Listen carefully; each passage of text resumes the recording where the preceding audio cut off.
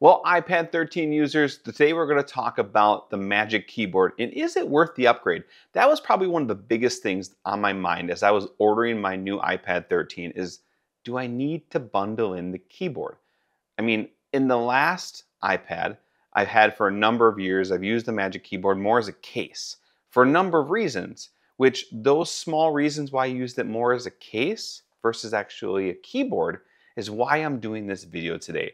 The updates aren't huge, but they're significant if you are someone that's going to be using this device more and more as a computer. The iPad 13, the Pro Edition, now has an M4 chip. So that's going to open the possibilities for more computer processing power. You might be looking at this more as a computer than you would a tablet device. And that keyboard is going to be essential to accomplish that. Now, when you tack on this device with a keyboard, you're north of 1,500, nearly $2,000. And when you compare that to a laptop, that is a big chunk of change. But today, guys, I'm going to show you some of the improvements that I feel that are really important to this new edition of the Magic Keyboard that might make you want to bundle it in your next order.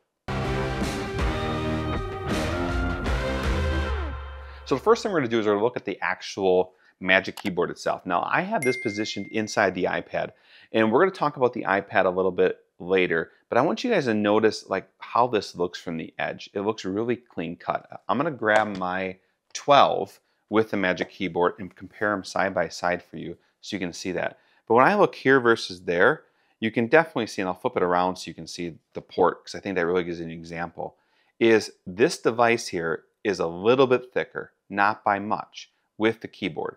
But here, the device is a little smaller, but with the keyboard, they're relatively about the same thickness. This is a hair thinner, but you'll notice that the edging seems really polished and really smooth because when you open up the Magic Keyboard, you're going to find that this device now is a more of a solid, it's actually made out of metal, and that gives it a more finished build quality versus if you've been using the Magic Keyboard that was the previous launch, when you open up this one, you're going to have that you know kind of rubbery feel. Um, definitely great for a case, but you know something that doesn't feel very commercial when you're typing on it. Now, the first thing that I noticed when I opened up these devices side by side is if I line the front, actually I'll flip these over and show you. I'm going to stack the old iPad on top of the new one. And relatively speaking, I mean, they're within, well, they're within a few centimeters, if not millimeters. Heck, they're probably the exact same size. Nothing that I would notice unless I got a ruler out, and we're not going to do that today.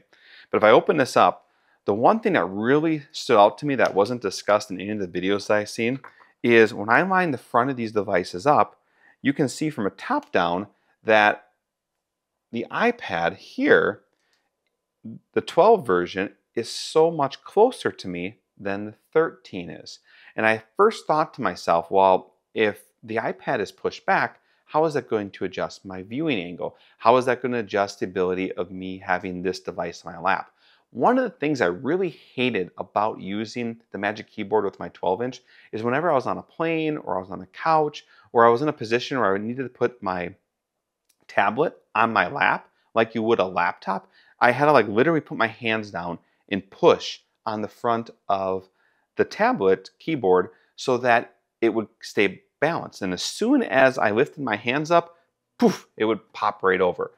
I will tell you that with the new 13 inch, even though it's angled back almost like a solid three quarters of an inch, you would expect it to kind of flop over more. It actually doesn't. It actually feels more counterbalanced, and I do still have to put a little bit of pressure on the surface area or the front of the keyboard so doesn't fall off my lap. Now I can lift my legs up a little bit and that brings the counterbalance forward, but that was one of the things I really noticed. The next thing I noticed is I always had, when I was typing, I always had this sense that I had to like push my hand underneath the iPad to reach some of these keys from time to time. Well, here with the number pad and the function row being up here, these numbers are there's a good distance between the actual keyboard itself and the device itself. And that just spatially feels it just feels better. It just feels more natural is the best way I can explain it. Versus here, I feel like I'm really up on top of the iPad.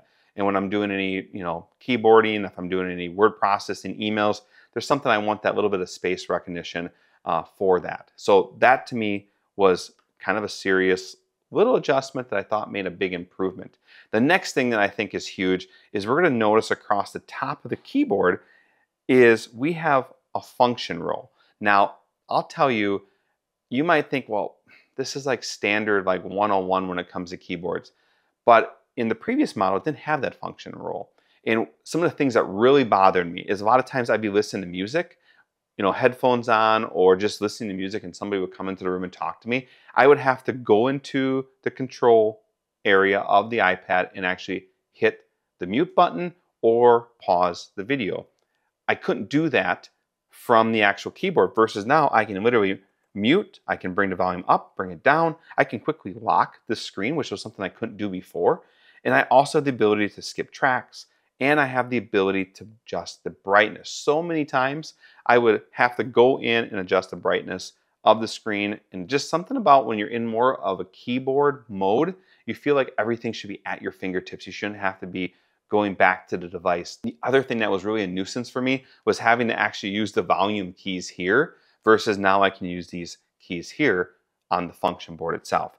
The other big thing you're gonna notice is just the overall size and imprint of this mouse pad.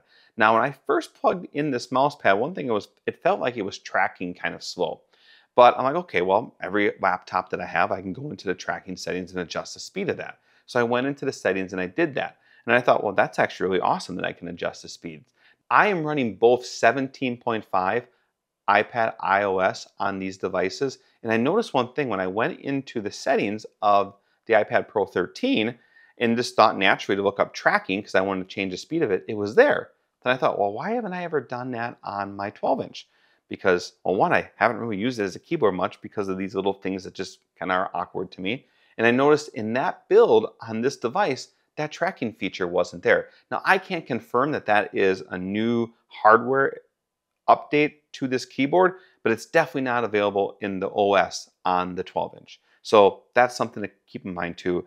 And I think that's because when you look at the overall size of this trackpad versus this trackpad, it's considerably larger. So as you're moving across the screen, you're not only going to make finer adjustments, but faster movements as you're browsing. And I especially noticed this when I hook up a second monitor to this device. And that's also one of the big features about having a Magic Keyboard is the fact that you have that extra port available so you can hook up a hard drive, you can hook up another peripheral and still charge and maintain the device.